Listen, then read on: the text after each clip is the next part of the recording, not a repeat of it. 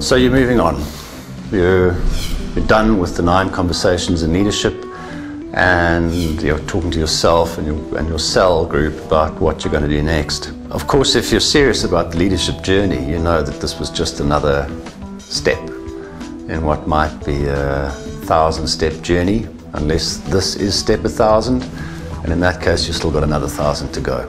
You know that you've got to set vision, you know that you've got to build community, you know that you've got to align, you've got to develop teams, you've got to develop individuals, you've got to take care of your energy, and you've got to grow yourself. You've got to take self leadership as a serious responsibility.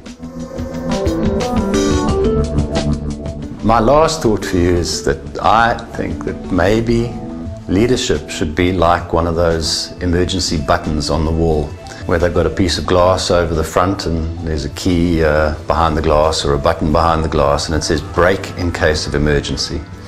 You know, we don't want to be leading all the time. There's just nothing, nothing more tiring than, than trying to be the leader.